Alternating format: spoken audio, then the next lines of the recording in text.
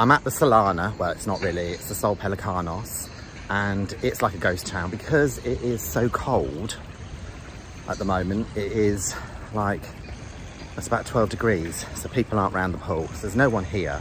But I want to show you the pool bar used in Benidorm TV series. So it's around here. It's lovely actually, I do love it. We've got the jacuzzi running.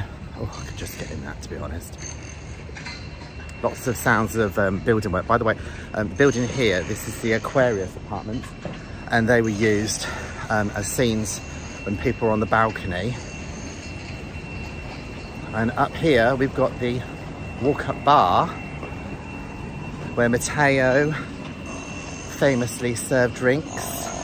And we've also, you can hear the building noise in the background as well. Lots of building work takes place around winter time. We've also got here the swim up bit and this is where Kate found the floating poo. It was just about here. It's relatively shallow actually. Just here.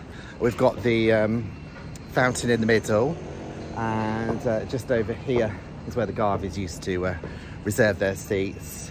It's tended to be for um, uh, the Oracle uh, over here in Noreen. God, it's bringing back memories. And they used to close off this part of the, uh, the pool to the public, so you couldn't actually get over here when they were actually filming. Uh, so that would all be closed off, and it would just be this area here. And they tended to film a lot of the scenes during the winter months, because obviously you didn't get the, uh, don't get the masses. You do get like Jet2 and uh, all the big holiday companies do booking up the rooms, but there it is. It's fabulous. I love it.